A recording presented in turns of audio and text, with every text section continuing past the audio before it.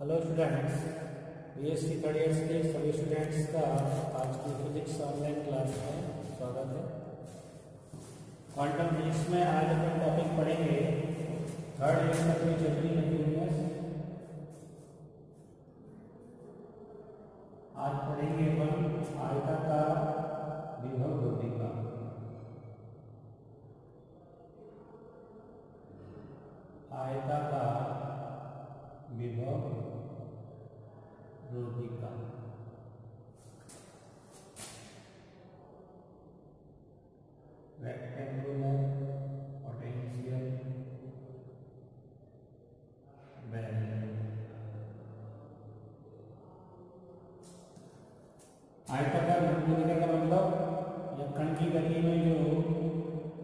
क्षेत्र यूज़ होगा। उस विभव क्षेत्र की स्थिति एक दीवार की तरह है, आयताकार दीवार की तरह इसको ग्राफ से हम लिखा है, स्थिति एक्स और इसके अकॉर्डिंग विभव बी एक्स तो आयताकार दीवार की तरह से शो करेंगे हम ग्राफ को। इस तरह से ये एक्स बराबर ज़ीरो एक्स बराबर ए जो है वो दीवार की चौड़ाई को शो करेगा। इसकी ऊंचाई विभव की ज़ीरो तो ये फ़ील्ड हो गया इधर का एक्स लेस देन ज़ीरो इधर का फ़ील्ड हो गया x greater than zero a लिख सकते हैं। तो फ़र्स्ट फ़ील्ड का ये हो गया फ़र्स्ट क्षेत्र। तीन फ़ील्ड हो गए इसमें। एक सेकंड क्षेत्र और ये हो गया थर्ड क्षेत्र। ये अपन लिख सकते हैं। माना एम द्रव्यमान का कण एम द्रव्यमान एवं ई ऊर्जा का कण प्लस एक्स दिशा में विभव क्षेत्र बी एक्स में गतिमान है एक में ही गति है, जिसका वक्र विभव क्षेत्र का वक्र उपरोक्त चित्रानुसार है। उपरोक्त चित्रानुसार है, ऊपर के चित्र के अनुसार है। तो स्पीड को अपन इस तरह परिभाषित कर सकते हैं। एक्स इक्वल टू ज़ीरो जबकि एक्स लेस देन ज़ीरो ये वाला स्पीड फ़र्स्ट फ़ील्ड के लिए हो गए बी एक्स बराबर बी ज़ीरो जबकि एक्स का मान क्या है? ज़ीरो से अधिक और ए से कम। ज़ीरो से ए के बीच में। ये सेकंड फ़ील्ड हो गया। और बी एक्स बराबर ज़ीरो जबकि एक्स ग्रेटर देन ए ये तो तीनों फ़ील्ड में हमने विभव को परिभाषित कर दिया। अब अपन इसमें वही पहली स्थिति लेंगे नंबर एक यदि कण की ऊर्जा E less than v zero इसको अपन यहाँ दिखाएँ ऊर्जा का जो लेवल है, वो वी ज़ीरो से कम है। ई लेस देन क्या है? वी ज़ीरो इस कंडीशन में अपन स्क्रोडिंगर समीकरण लिखेंगे तो चूँकि काल अनाश्रित श्रोडिंगर समीकरण से क्या होता है काल अनाश्रित श्रोडिंगर समीकरण ई शाई एक्स बराबर। Minus y square upon two m del square of psi x plus b x psi x एक भूमि है डेल स्क्वायर कर लेंगे इसको दर लिया है। ई माइनस बी या बी एक्स शाई एक्स बराबर। Minus y square upon two m एक यूनिट में डेल स्क्वायर अपन माइनस स्क्वायर साइन एक्स इसको अगर पक्षांतर में बदल ले जाए तो फ़ंक्शन बन जाएगा। Del square upon minus square of sine x plus two m upon एक्सवायर square E minus b x shahi of x बराबर ज़ीरो ठीक है? इधर आएगा प्लस करके इधर ले लेंगे इसको भी समीकरण नंबर लिख दें। दो सबसे पहले फ़र्स्ट फ़ील्ड के लिए लिखें इसको। फ़र्स्ट फ़ील्ड के लिए काल अनुश्रित श्रोडिंगर समीकरण फ़र्स्ट फ़ील्ड में कंडीशन क्या है? V x equal to zero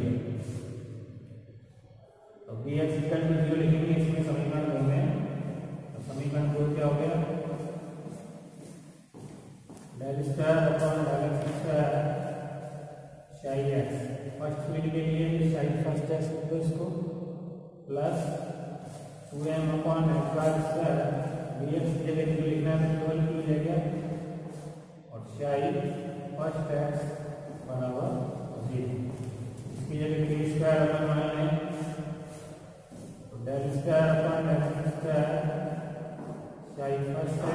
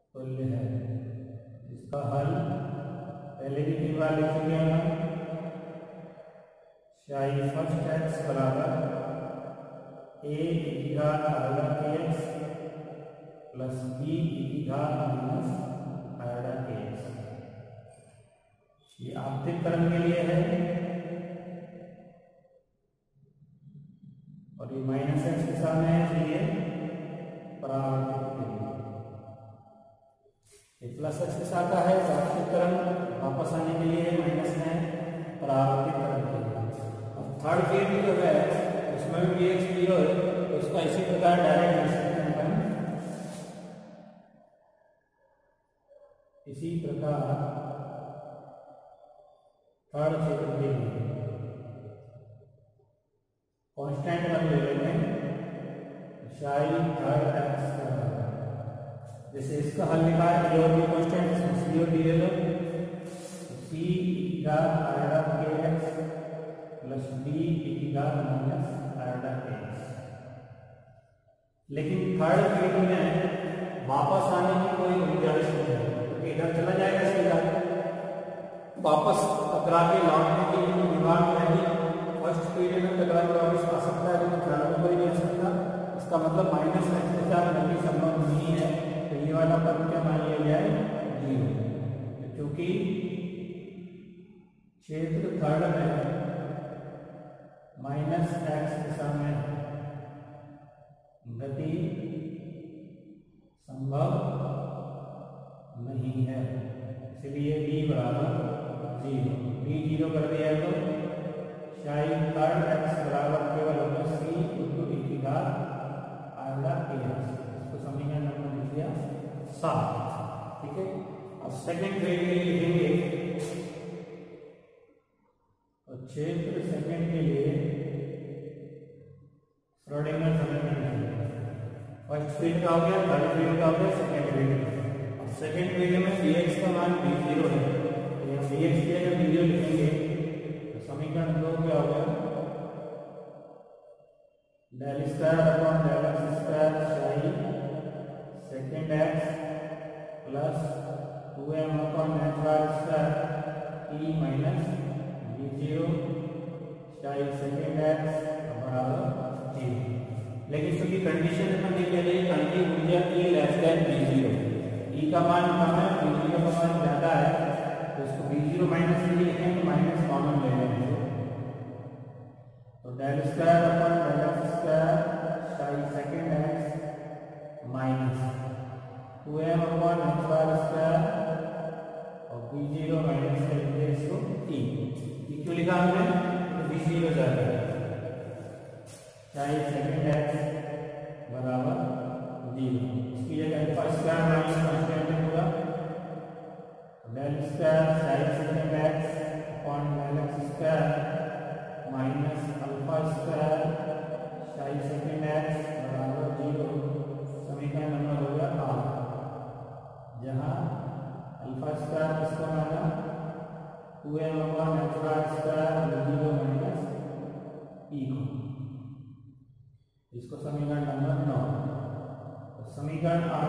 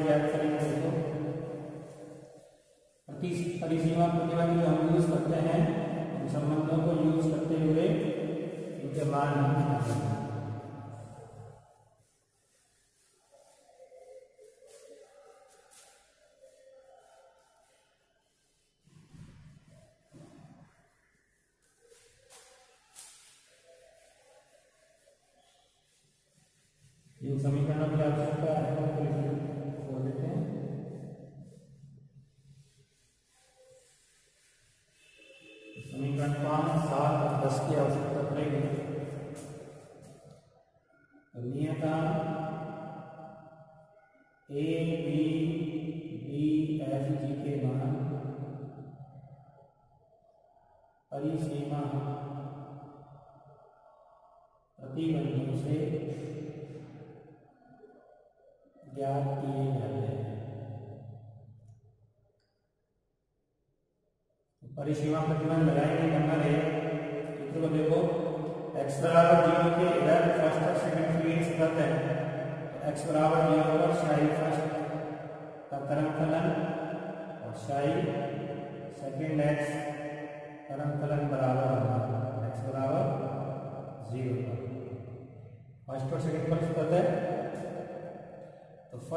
समीकरण नंबर पाँच और सेकंड में है समीकरण नंबर दस।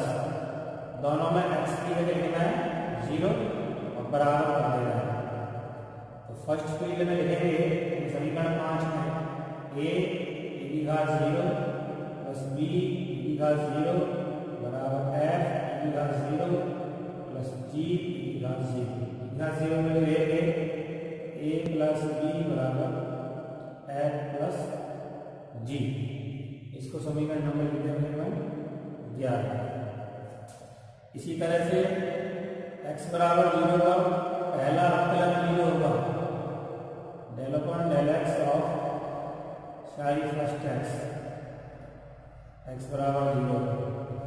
बराबर डेल डेल एक्स ऑफ़ शाही सेकेंड एक्स एक्स बराबर ज़ीरो। फ़र्स्ट अवकलन करके ज़ीरो लिखते तो शाही फ़र्स्ट का अवकलन करेंगे अपन। क्या आएगा?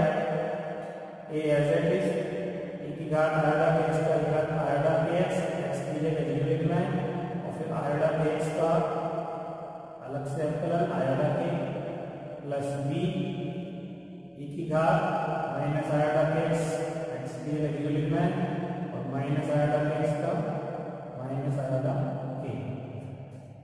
बराबर फ़र्स्ट का अवकलन हो गया सेकेंड का करेंगे क्या आएगा एफ़ ए की घात अल्फ़ा एक्स का अल्फ़ा एक्स एक्स की जगह ज़ीरो लिखना है, और अल्फ़ा एक्स का प्लस जी ए की घात माइनस अल्फ़ा एक्स की जगह ज़ीरो और माइनस अल्फ़ा ए की घात ज़ीरो का मान नहीं हो जाएगा आर्डा के कॉमन ले लिया, क्या बचा? ए माइनस बी इधर अल्फ़ा कॉमन ले लिया एफ़ माइनस जी माइनस आएगा ना ऐसे तो इससे ए माइनस बी बराबर हो गया अल्फ़ा अपॉन आयडा के एफ़ माइनस जी ये समीकरण नंबर लिख दिया हमने बारह। अब तीसरा प्रतिबंध क्या है? प्रतिबंध नंबर तीन। एक्स बराबर ए पर सेकेंड और थर्ड फ़ी के बराबर कहते हैं। शाही सेकेंड एक्स बराबर शाही थर्ड एक्स एक्स बराबर बराबर ए एक्स बराबर ए यानी डिवाइड सेकंड थर्ड सतत है। सेकंड और थर्ड सेकंड थर्ड हमारे समीकरण दस और सात। इनमें एक्स की जगह है? ए पहले समीकरण दस में लिखते हैं। एफ़ की घात अल्फ़ा ए प्लस जी की घात माइनस अल्फ़ा ए बराबर। थर्ड में लिखेंगे सी की घात आएगा ए एक्स की जगह लिख दो ए इसको समीकरण नंबर लिख दो, तेरह। फिर चौथा प्रतिबंध लिखेंगे प्रतिबंध नंबर चार फ़र्स्ट अवकलन के बराबर होगा। Del upon del x shahi second x at x बराबर a equal to del upon del x of shahi third x at x equal to a x बराबर ए पर थर्ड और सेकंड के फ़र्स्ट अवकलन बराबर। इसका अवकलन करेंगे। एक्स की जगह क्या लिखना है ए तो प्लस करेंगे एफ़ का कांस्टेंट है ए की घात अल्फ़ा एक्स का घात अल्फ़ा एक्स एक्स की जगह ए लिख दिया और अल्फ़ा एक्स का alpha plus g constant as it is a की घात का माइनस अल्फ़ा एक्स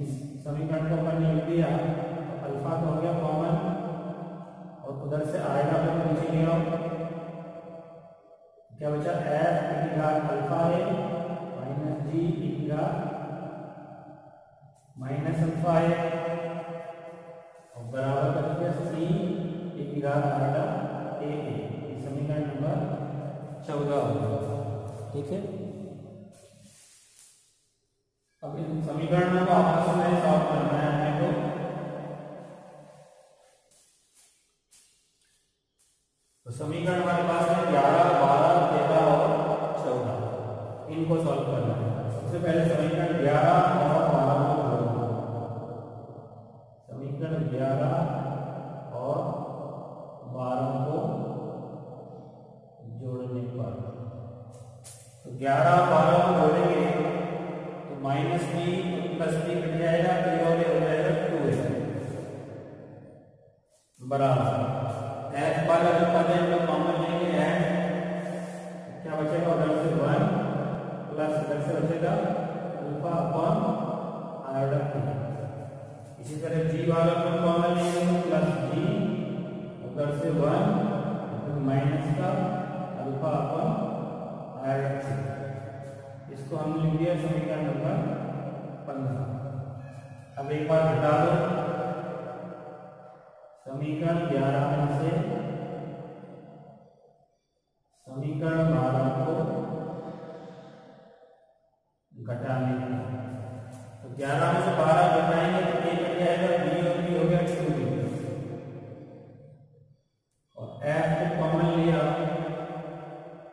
वन और चूँकि घटा रहे हैं तो माइनस का बचेगा अल्फ़ा अपॉन आयोडा के, ये प्लस का हो जाएगा। जी कॉमन लिया, one plus alpha upon k. ये घटाएँगे, इसके चिन्ह बदलेंगे ना वाले के माइनस का हो जाएगा और इधर हो जाएगा प्लस का। एफ़ वाला माइनस का हो जाएगा जी वाला क्या हो जाएगा? प्लस का हो जाएगा। तो अभी पंद्रह सोलह हल करें। तो पहले इसको अपन साफ़ कर देते हैं।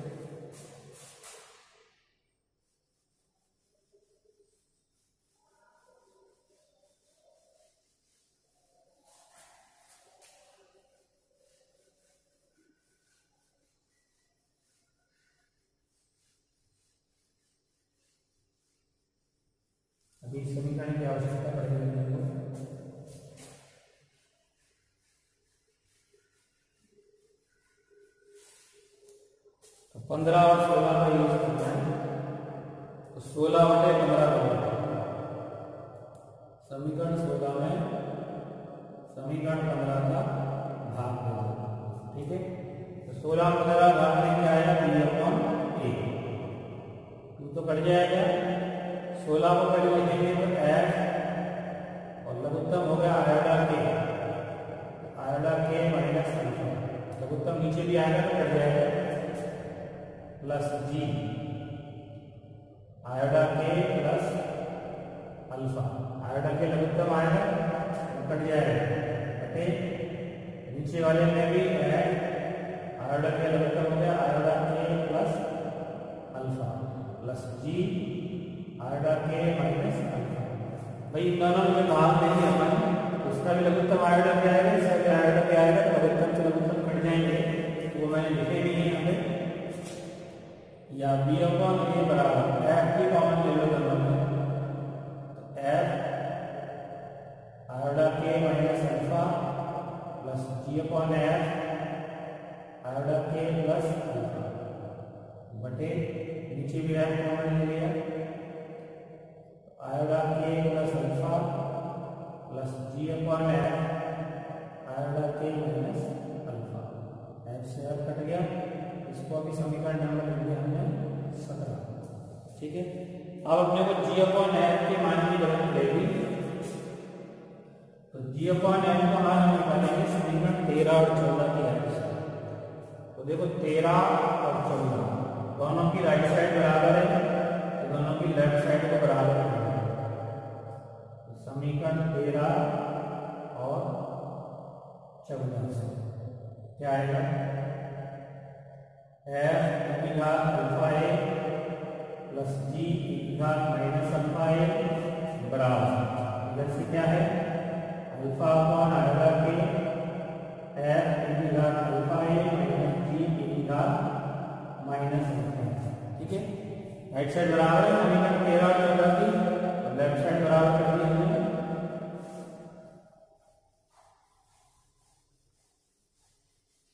अब इसको थोड़ा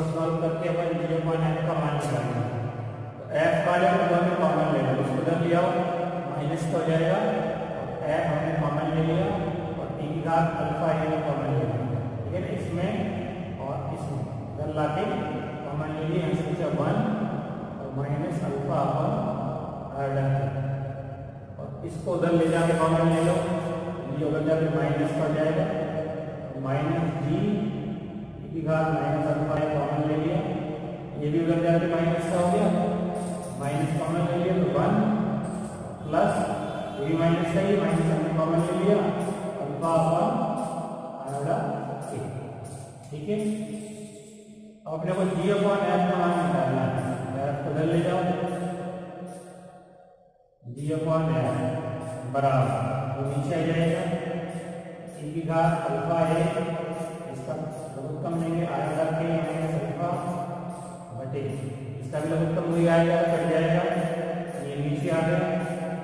E माइनस अल्फ़ा है और लघुत्तम आएगा आयोडा के प्लस अल्फ़ा लघुत्तम आएगा आयोडा के आयोडा कट जाएगा साइड का ये नीचे जाएगा और माइनस और इसका मतलब जी एफ़ की वैल्यू होगी माइनस इसको ऊपर ले जाएँगे तो e की टू अल्फ़ा है प्लस का हो गया ना आयोडा के माइनस अल्फ़ा अपॉन आयोडा के प्लस ये समीकरण नंबर हो गया हमारा अठारह ठीक है?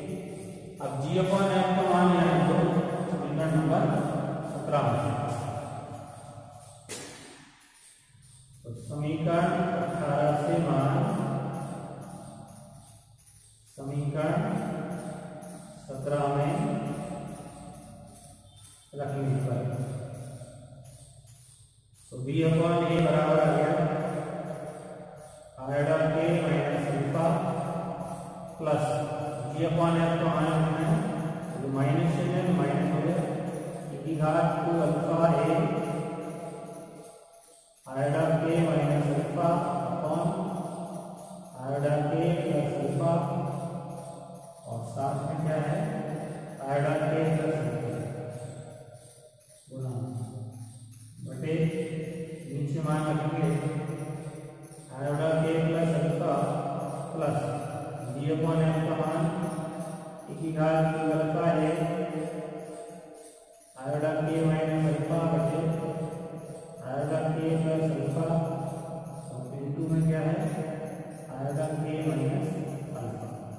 इसको सॉल्व करें अपन। तो बी अपॉन ए बराबर क्या हो गया?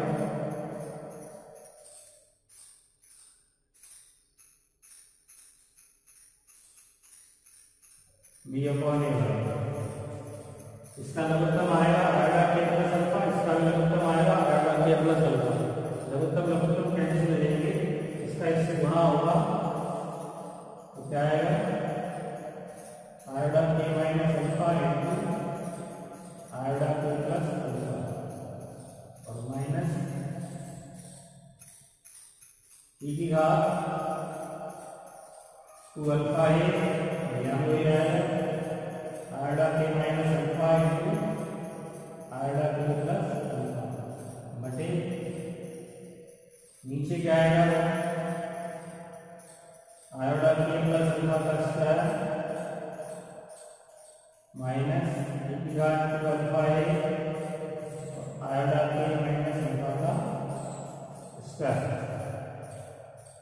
अपॉन ए बराबर में आ गया a minus b a plus b का गुणा जैसे होता है क्या आता है ए स्क्वायर माइनस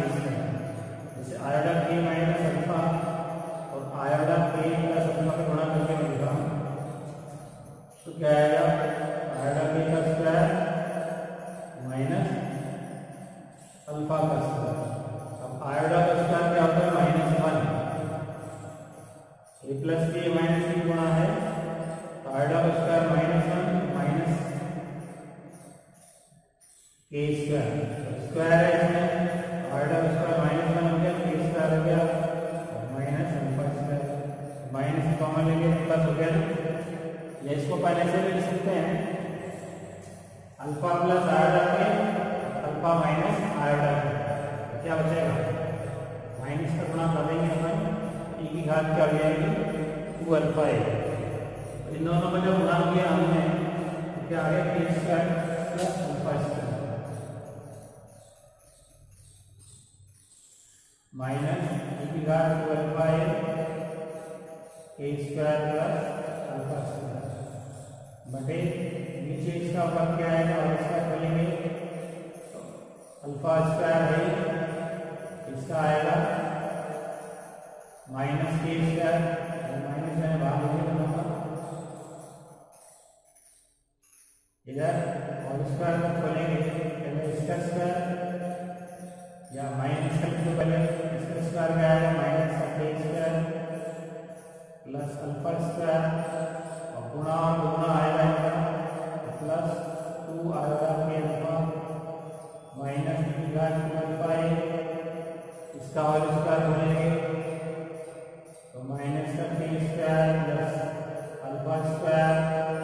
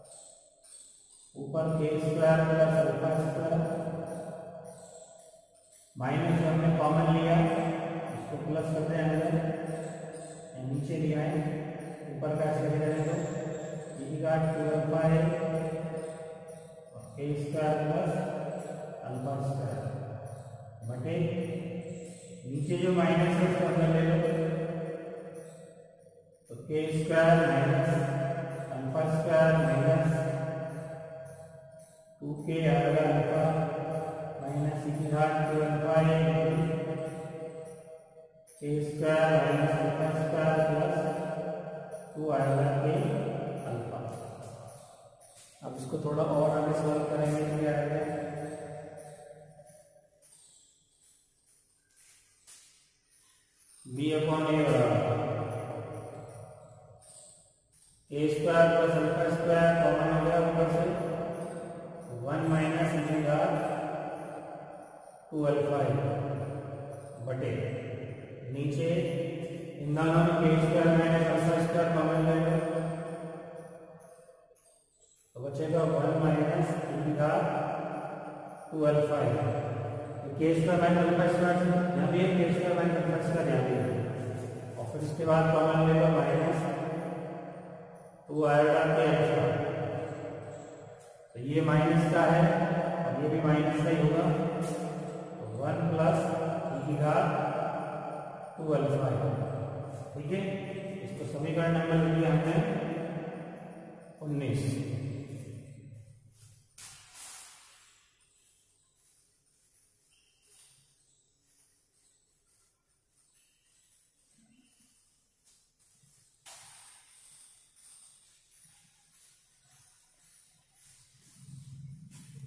अब इसको और थोड़ा सोल्व कर सकते हैं तो चूँकि ई की घात अल्फ़ा ए बराबर क्या होगा cos hyper alpha a plus sin hyper alpha a E घात माइनस अल्फ़ा ए बराबर क्या है cos hyper alpha a minus अब इनका जब प्लस करेंगे तो ये कट जाएगा two cos hyper alpha a अपने को ई घात टू अल्फ़ा घात अल्फ़ा ए बराबर है उसको। टू ई घात अल्फ़ा ए प्लस वन हो जाएगा बराबर हो जाएगा टू घात अल्फ़ा ए और साई का अल्फ़ा ए इसी तरह जब घटाएँगे तो बराबर क्या आएगा? कि साइन कॉस कट जाएगा, साइन साइन डबल हो गए two sine hyper alpha a two की घात अल्फ़ा ए गुणा कर दो इसको। टू की घात two alpha a minus one बराबर हो जाएगा टू का अल्फ़ा ए तो ये मान यहाँ पे समीकरण उन्नीस में समीकरण उन्नीस को क्या लिखेंगे देखो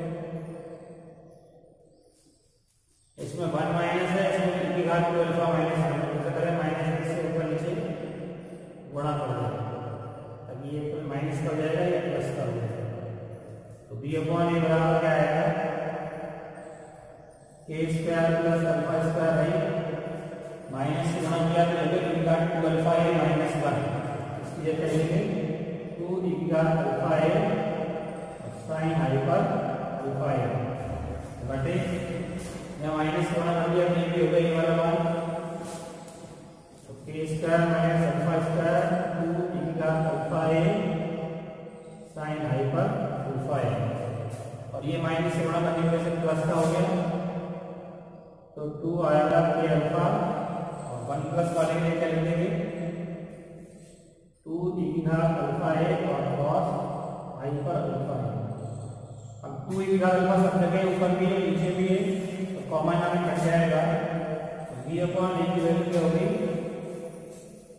K square plus alpha square sine i पर अल्फ़ा है बटे, नीचे k square minus alpha square sine alpha alpha है ये कट गया प्लस टू आएगा k alpha into cos hyper alpha ये समीकरण नंबर लिख लिया हमने, बीस। अब मैंने को इसका स्क्वायर करके मान निकालेंगे बाद में आज के लिए पर्याप्त है, क्योंकि थोड़ा लंबा चलेगा। ठीक है?